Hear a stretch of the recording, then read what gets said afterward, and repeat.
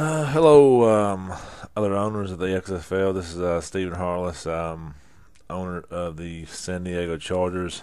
Um, this is going to be the first podcast of the PlayStation 4 era. Um, used to do these every week, but I've also had a little help in the other uh, PS3 league on doing them. Uh, haven't really had time to catch up and uh, it takes a lot to do these things as far as notes and stuff like that. I really just don't didn't have the time to sit down, but now you know I've had surgery and stuff like that, and I'm out of work another week, so I figured I'd do one. Um, try to catch up this season. I'm gonna be um, I'm gonna be reviewing all the users games uh, so far that we've had this season. And then uh, I'm going to give you a preview of tonight's game. Uh, for Philly versus uh, San Francisco 49ers. Also, going to give you uh, my own opinion of the power rankings, usual wise in the XFL, and then I'm going to give you a little state of the league kind of thing of what's going on within the XFL, new members, uh,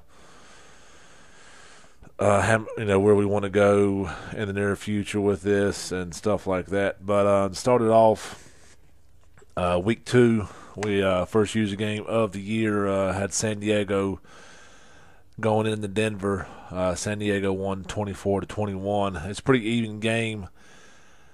Uh, Denver actually outgained San Diego by probably over 100 yards, but Denver had two costly turnovers, actually resulting in 14 points. Uh, one was a fumble, the first play of the game, that gave me the ball inside the 20. I was able to punch that in go up seven nothing right off the bat, and then he threw a pick six late in the game. It pretty much sealed it. But it was a good game with me and David Melton, like always. Uh, just two costly turnovers costing the game. Uh, next, we're going to go into the uh, Panthers versus Falcons game.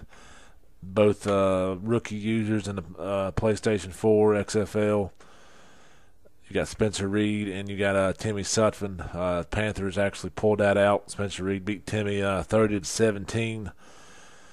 Uh, basically, pretty much even game. Panthers had uh, stops when they needed them, bigger stops than what Timmy had. Uh, Timmy only had 51 rushing yards, and that's that's that's plagued him all year. He's got to get that rushing game going and Spencer uh, forced a big turnover there near in the, in the fourth quarter, pretty much to seal the deal. I think they both have a handful of turnovers. I think Timmy had three and uh, Carolina had two. That was basically the story of the game. Timmy's got to get that rushing uh, game going. He only had 51 yards. He can he can uh, he can wing the hell out of the ball. He can th- he can throw the hell out of the ball, but his rushing game's killing him. People's keying in on his pass, picking him off because uh, they know he's not going to run for very many yards or even try at that most. But he's a rookie. He's doing all right. I think he's two and four right now, and um, looking to get better. He's also played a tough schedule because he goes in the following week, plays the defending champion Chicago Bears, loses 31 to 14. Timmy was actually up in that game early. I think it was uh, seven to three. They actually had an even number number of total yards but once again, turnovers and lack of rushing game plagued the Falcons, and he couldn't get Chicago off the field. As Chicago had uh, four uh, four third down conversions to Timmy's one. He could not get uh, shadow box off the field on third downs, and that was that game that come to be huge with the turnovers and the lack of rushing game.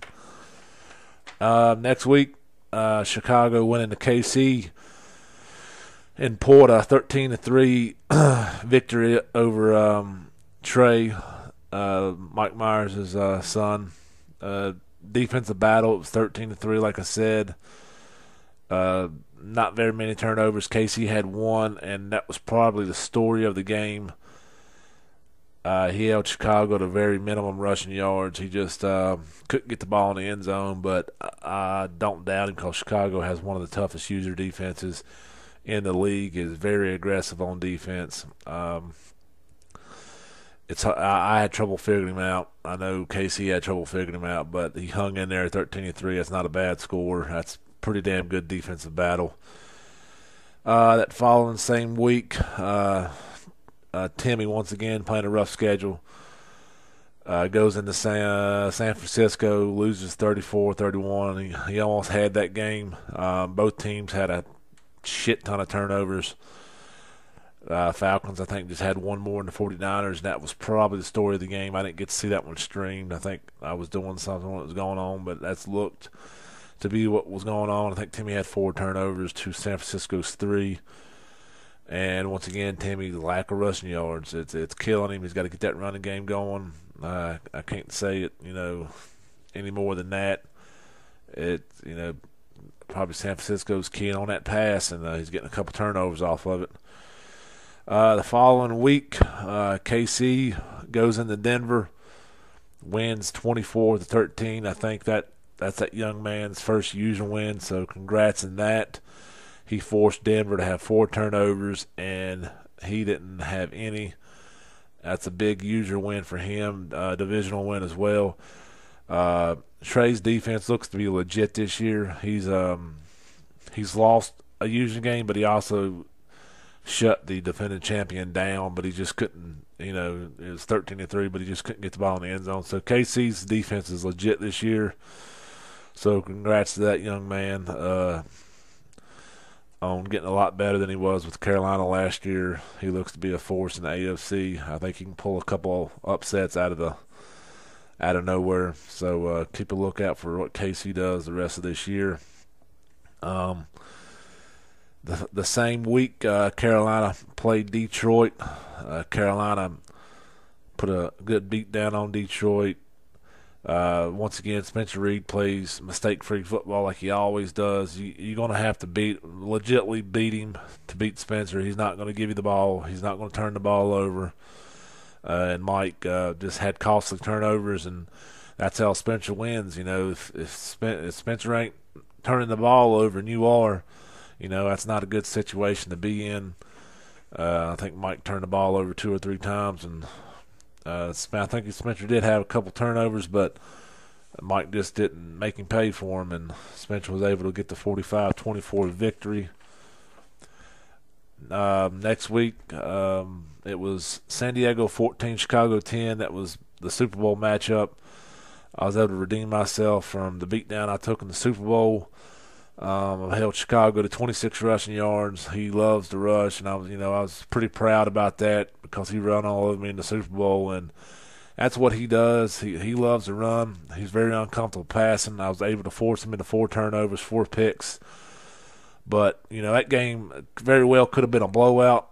I was in there with a backup quarterback and just struggled with him. Um, could not convert off those turnovers I was getting, so I only beat him 14 to 10. Um, I think it could have been bad if if I had my starting quarterback with you know running my regular offense, but who knows? You know, maybe we'll meet again. Hopefully in the Super Bowl, we'll see. Um, this week, Denver uh, went to Detroit and romped them 38-24. Uh, Mike couldn't stop the off tackle run. Missed a couple tackles too that resulted in big plays. And he had a chance, I think it was in the first or second quarter, to really put a statement. I think it was tied seven seven, and Mike forced a turnover, and he he, he put a he could have put his foot on his throat if he punched down in the end zone, but Mike turned around and threw an interception, gave it right back to him, and Mike just couldn't stop the off tackles run. It got a little bit out of control. But uh, Mike's getting better, uh, learning every day. But we'll have to see, you know, what the season holds. He's, he's got, you know, he's already doubled his wins from last year. He's just got to get that first usual win, get that monkey off his back, and I think he'll be just fine. Um, tonight we have a treat for y'all. It's uh, San Francisco versus Philly. That's going to be a hell of a matchup. It's going to be the number two offense versus the number two offense of Philly versus the number seven defense of San Francisco. Uh, San Francisco is a very run happy team, as Frank Gore's got 735 yards already this season, and Gore is the second leading receiver for the San Francisco offense. So if that tells you anything, he also like loves to throw that screen pass to Gore. Um, the Philadelphia Eagles will be starting Mike Scott, Matt Scott tonight. He's got six touchdowns and eight picks. Not not too very efficient, but uh, Shady McCoy makes up with it with uh, 541 yards rushing and a whopping 6.3 times 6.3 yard average every time he touches the ball. That's pretty impressive. So it's basically going to be two. I don't see neither team doing much in the air tonight. It's going to be a damn. It's going to be a, a four yards in a cloud of dust kind of game. We'll see. Um, if anybody can get their passing game going. Uh, neither neither team is really impressive throwing the ball, so it's going to be whoever I think gets their running game going first. And that's it for the previews and the um, catching up the user games. Now I want to go into my rankings. Uh, now this is very opinionated. This is my opinion. It's not really got a formula. I've looked at you know who's won user games, uh, strength of schedule, not as far as strength of schedule playing com- hard computer teams. Uh, strength of schedules, you know, who's played the most users, you know, who's got big user wins. Because let's be honest, it's it's a different ball game when you play a user.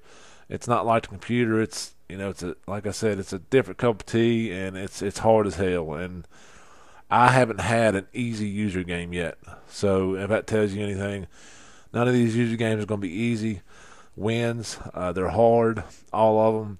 So you know you you get a boost when you beat another user, and that's basically my formula. But uh, number one right now, I have the uh, Lucas Nestor and the Pittsburgh Steelers. His running game is unreal. Uh, he got a big win over the Tennessee Titans, who's no longer in the league, but was a pretty good player when he was here. Then I got uh, the Chargers. Number two is me. Uh, big win over Chicago. Big win over Denver. Two over users this year. Um, you know, runner up last year. Uh, five and zero. Oh. Uh, number three, I got the 49ers sitting undefeated. Uh, no user wins this year yet. No, he's got one user win against the Falcons, um, and looking to looking for a second tonight. That can probably boost that rating if he go if he starts out two and zero oh against users. I got uh, the Seahawks at number four, undefeated against all computer teams, but he's been winning by a lot. Uh, he's going to get his test against the 49ers soon. I think they play twice this year. Uh, number five, I got Chicago, returning champs. He's took a lump to the computer, and he and I, and I was able to knock him off wise, so his ratings dropped a little bit. I know he's returning champs, but he's got two losses this this year, so he's dropped down to number five. I got no, I got number six. It's Kansas City. Uh, as Trey, um, legit defense. Um, I think he took a lump to a computer this year, and he got beat by Chicago, which is not a bad loss. But he also has another user win, so he's right there in the middle. I think he's on the rise. I think he's going to upset some people this year. Number seven is Philly uh, with, with Chris. He uh, took a lump to the computer run Patriots this year. Haven't played a user yet. Like I said, tonight, big game for San Francisco and Philly. And and one of them's going to rise, one of them's going to fall. Number eight's Denver. Uh, he's took a lump to KC, took a lump to uh, San Diego, but he was able to knock off. Uh, who did he knock off? Um, Michael Wyrick and uh, Detroit Lions last night, and he took a simulated loss to KC because of a connection issue. So, sitting with three losses, he uh, he's on a lower tier, but I see him also rising. Spencer Reed, rookie to PS4, uh, two user game, two user wins. He's rising. I got to stick him at nine right now. Uh, he's got to earn his keep in this league. He, you know, he's current. He's a former champion in the PS3 league, but you know he's start on bottom, got to earn your way up top. Um, so he's, he's jumped three spots since he's been in the league. Uh, at number ten, I got Michael Wyrick, uh, best improved player right now. Uh, still improving, trying to get that uh, middle pass game on on point instead of going deep all the time. I think he'll do it. Uh, he's been working hard at fixing, you know, some flaws and I think he'll he'll be right on the outside of the playoffs or in the playoffs wild card this year. We'll see what happens. I got Timmy and the Falcons at 11. If he can get that rushing game going, uh, I think he's going to be a great user. He's just got to learn to run the ball because he's throwing for 300 yards a game almost, and that's way more than any other user right now out of the 12 we got. And number 12, uh, the re, uh, we just got the Cowboys under in here. I don't know anything about it. I haven't watched his game, so I'm going to stick him down at 12 for now. And uh, that's the power rankings. Um, you can post comments on what you think or whatever. I know some ain't gonna disagree, but it's just my strict opinion, and it really don't matter. But anyway, uh, of the league. Uh, I like what's going on right now. We got 12 users. Uh, what I really like is, you know, the PS4 is pretty new, so you know, not not a lot of people's going to have Madden 25. Not a lot of people going to go out and buy Madden 25 because it's March and, and it's not football season. So 12 users right now is great. I do want to expand at some point. It might not be with this game, but we're at where I want us to be. It's every week. There, there's almost a user game, and um, excuse me, there's almost a user game every week. So uh, that's always interesting. To you know, you're always going to have something to watch. There's going to be two users going at it week in and week out. So 12 is a good number right now.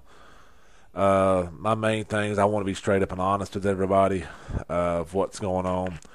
We had to kick a user out of the league this week. Uh, I hated to do it, but it was two weeks in a row that we've had a problem with this guy. Um, first problem was uh, somebody saw him losing, I think, 14 to 3 or whatever, and then all of a sudden it just turned off. And, you know, I questioned him about it. He was honest that he threw a pick and he got mad and threw his controller and it said it somehow it turned off his game, which you know it might have happened. I don't think so. I think he I think he legitimately turned the game off. But I wasn't there. I don't know. But still, you know, everybody loses.